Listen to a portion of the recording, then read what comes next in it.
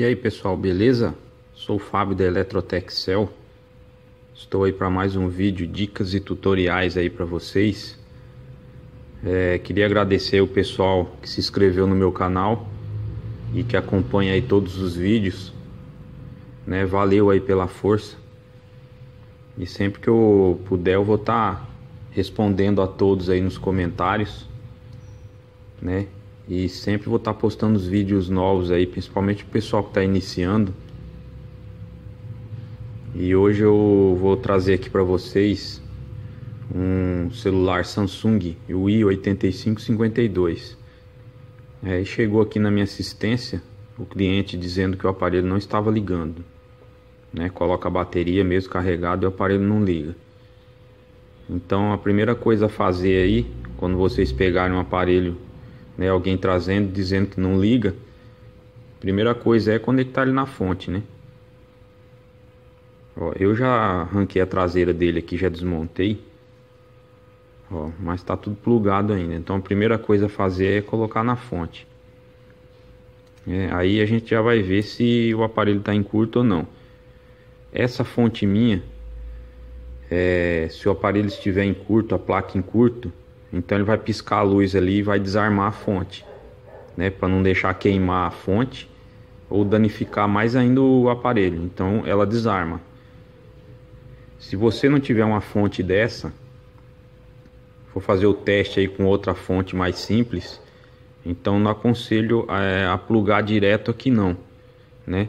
Primeiramente aí coloca o multímetro escala de continuidade e testa aqui ó nos pinos aqui ó positivo e negativo para ver se está em curto né antes de colocar na fonte. Como a minha fonte já tem esse esse esquema aí de desarmar então já conecto direto aqui ó não tem problema nenhum então não vai danificar mais ainda né.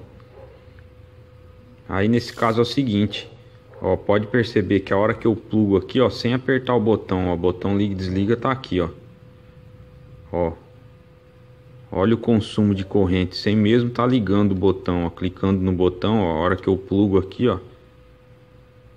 Olha lá, já tem um consumo de corrente.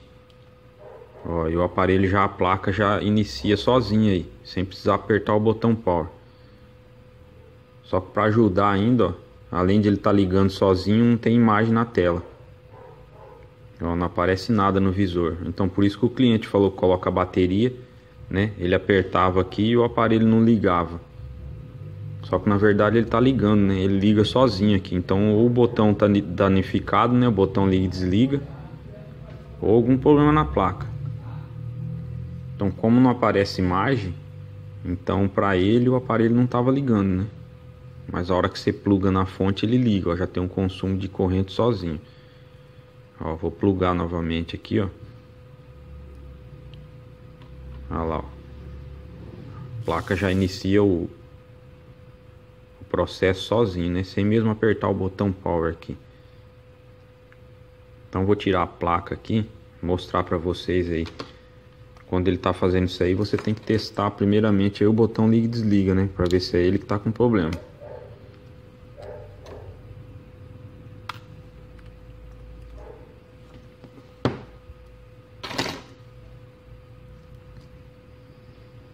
Deixa eu virar a câmera aqui, pessoal. Para poder pegar melhor.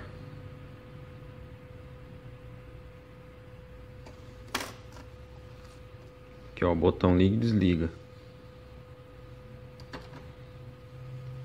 Aqui, ó, ele tem dois polos aqui, ó. Geralmente é um positivo e um negativo.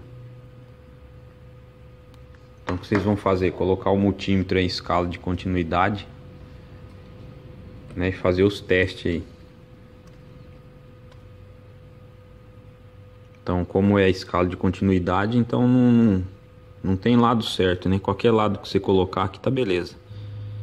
Então você rela aqui numa, numa perninha do botão e na outra. Não pode dar continuidade. A continuidade só vai dar a hora que você apertar o botão. Aí, ó, esse botão ali desliga aqui já tá dando continuidade, ó.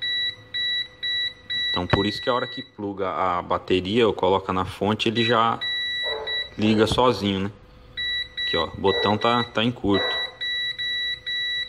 Então a gente vai ter que fazer a substituição do botão. Ó, um botão bom, ele não faz isso, ó. Você vai relar de um lado da perninha aqui, ó, e do outro. Ó, ele não dá continuidade. A continuidade vai ser só a hora que apertar aqui, ó.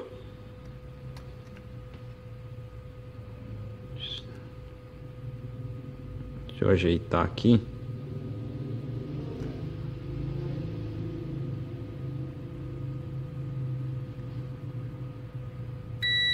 Ó. Só a hora que eu aperto ele que dá continuidade, ó. Então esse botão tá bom. Nesse caso aqui o que eu mostrei aqui é o de volume, né? Então a gente vai ter que fazer a substituição desse botão aqui, ó. Então, primeiro eu vou tirar ele. Aí vocês vão ver que já não vai iniciar sozinho a placa, né? Agora a questão do display não tá aparecendo a imagem aí já é outro caso, né? Vamos resolver esse primeiro, depois a gente resolve do display.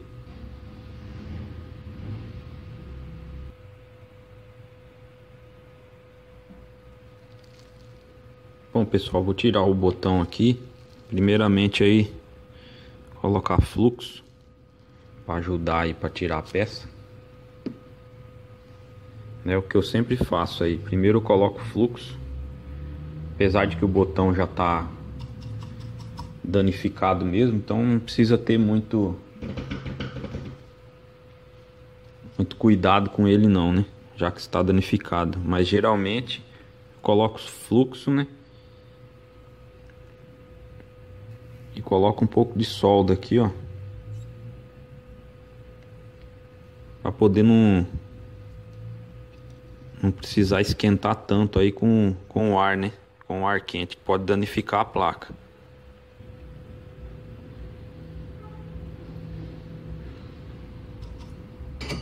Então coloco bastante solda para poder ajudar. Então a hora que você colocar o mandar o ar quente aí no botão rápido, ele sai rapidinho. Então não danifica os outros componentes aí.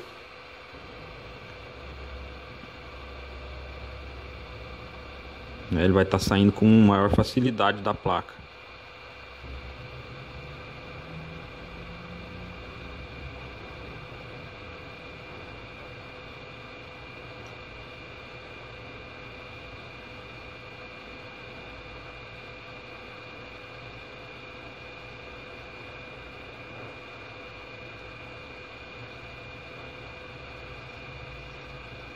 Que se você só colocar o fluxo e tentar tirar o botão é, sem colocar solda, a solda que vem nele de fábrica aí é uma beleza para tirar, hein? Então você tem que colocar muito ar quente aí, então é, pode ser que danifica algum componente que esteja próximo ao botão. Então sempre coloca um pouco a mais de solda aí para poder ajudar na retirada do botão. Bom, já retirei o botão aqui. Vou fazer o teste agora para ver se a placa tá continua ligando sozinha aqui. Eu vou virar a câmera de novo.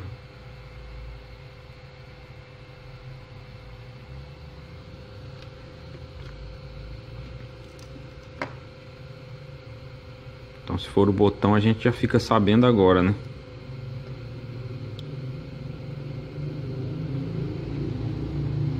Olha lá, ó, não iniciou. Então era o botão o problema. Então agora aqui, ó, vou pegar uma, uma pinça aqui, vou relar nos dois contatos aqui. Fazer o papel do botão aqui com a mão. Vamos ver se vai ligar a placa. Olha lá, ó, ligou. Então, primeira parte aí de estar tá ligando sozinho era o botão. Agora eu vou ver a parte do display. Por que, que não está aparecendo imagem no display? Vou plugar aqui de novo.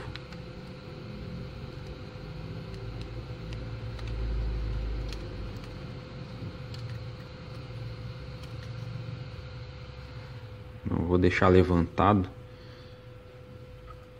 para poder estar tá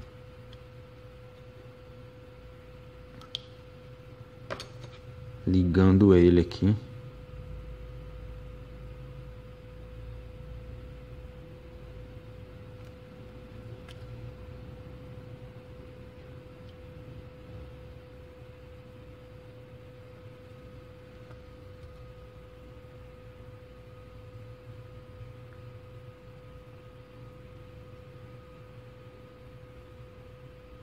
Aí pessoal, apareceu a imagem no display. Então o problema estava somente no botão mesmo, liga e desliga. Como ele estava em curto, então ao mesmo tempo que ele ligava sozinho, ele, automaticamente ele já desligava rapidamente. Então não deixava nem é, iniciar o processo aí. Então a imagem não aparecia no display.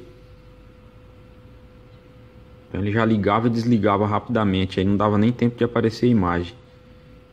Às vezes o, o botão é, danifica, mas dá tempo de aparecer imagem aqui ainda no display, então dá para você saber, né? Agora nesse caso aqui não, não tava nem dando tempo de aparecer imagem. Apesar de que o display já descartei a hipótese de estar tá queimado, né? Então o problema estava no botão mesmo.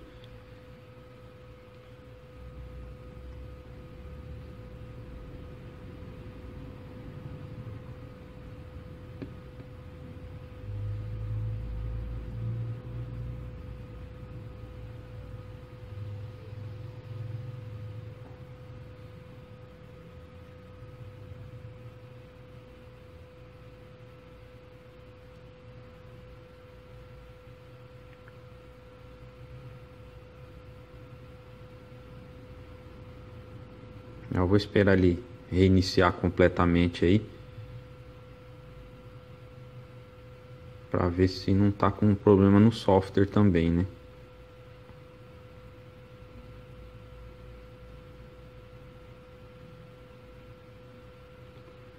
É, tá beleza, pessoal. Vou fazer a substituição do botão. E aí já volto com vocês aí.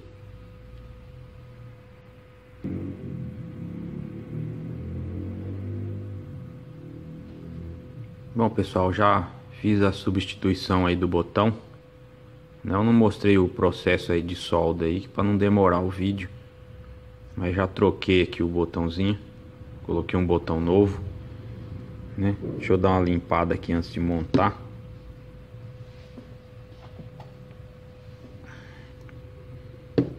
Tirar o resíduo aí do, do fluxo Também para ficar com a aparência mais limpinha, né?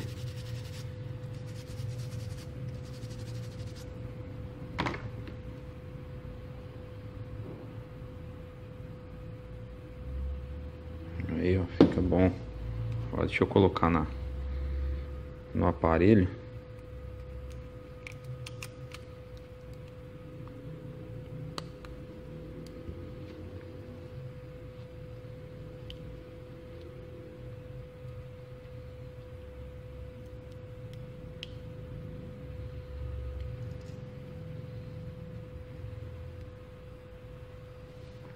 Aparelho já está iniciando aí com o botão novo.